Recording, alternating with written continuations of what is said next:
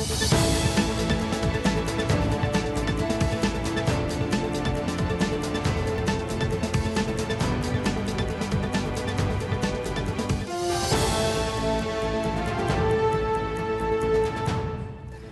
с първите за деня новини по света у нас. Започваме с картината за разпространението на коронавируса в страната. 3075 нови случаи на заразени отчита единният информационен портал днес при направени 8470 ПСР теста. Това означава, че повече от 36% от тях са положителни. Най-много случаи са регистрирани в областите София, Бургас и Варна. Излекуваните през последните 24 часа са повече от 315. В болница остават над 7000 пациенти, 542 от тях са в тежко състояние. Починалите за деня са 122 души. Франция е поредната държава, която затяга карантинните мерки въпреки наближаващите празници. От 15 декември пада строгата карантина, но се въвежда вечерен час от 8 вечерта до 6 сутринта. Всички културни институции, като театри и музеи, ще останат затворени. Причина за това е, че според френските власти броят на заразените с COVID-19 не намалява с желаното темпо. Затягане на мерките обмисля и Германия. Според идеите са затваряне на магазини и удължаване на коледната вакансия на учениците. От днес Турция започва вакциниране срещу коронавируса. Здравният министр на страната Фахретин Коджа съобщи, че първоначално ще бъдат вакцинирани здравните работници, като за целта ще се използва китайската вакцина. Отвъд океана експертен екип към Агенцията за контрол на храните и лекарствата посъветва здравните власти да дадат зелена светлина на вакцината на Pfizer-BioNTech. Днес или утре се очаква окончателното решение. Препаратът вече е одобрен от Великобритания, Канада, Бахрейн и Саудитска Арабия.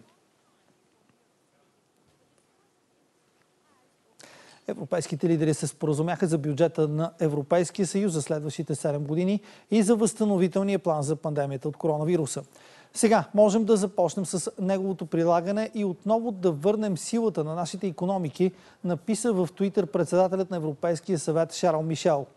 Полша и Унгария се съгласиха да не блокират многогодишната финансова рамка с условието, че ще поискат съда на Европейския съюз да се произнесе дали спорния според тях механизъм за върховенството на закона в рамките на бюджетния план е законен. 27-те призоваха съвета да предложи допълнителен списък с лица, които да бъдат обект на санкции заради сондажите, които Турция извършва в източното Средиземноморие.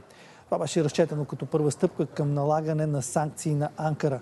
По темата Брекзит преговорите ще продължат до неделя, но Брюксел и Лондон активно се подготвят за варианта на пускане на Великобритания без делка. Срещата на върха продължава и днес. И към нещо любопитно, достъпът до едно уникално образование в швейцарските Алпи е отворен за любителите на природните чудеса. Пещера от лед, която се образува на ново всяка година, е наричана Ледената катедрала. През пролета и лятото една дупка в ледник на височина 3000 метра се пълни с вода от разтопен лед, а наноси от планината образуват на дъното тапа. През есента тапата изчезва, водата се излива и се върти като в сифон и всеки път замръзва по различен начин. Затова този природен феномен е наричан още мелницата. От блясъците на светлината по леда и причудливите форми са невероятна гледка.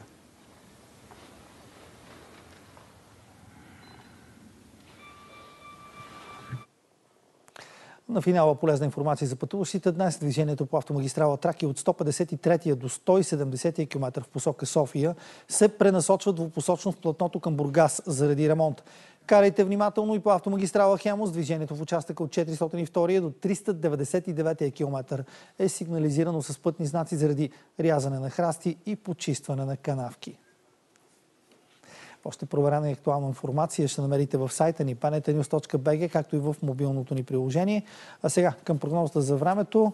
Здравей, Влади, отново. Доброто. Влажно утро, но не толкова студено, сякаш нетипично за месец декември. Какви температури не очакват днес? Не, температурите днес са почти навсякъде. Минималните са над нулата. В близките часове обаче все още ще има превалявания, особено в Централна България, където е в сила жълт код за значителни количества. След обяд ще има по-сериозни разкъсвания на облачността. Следват подробностите.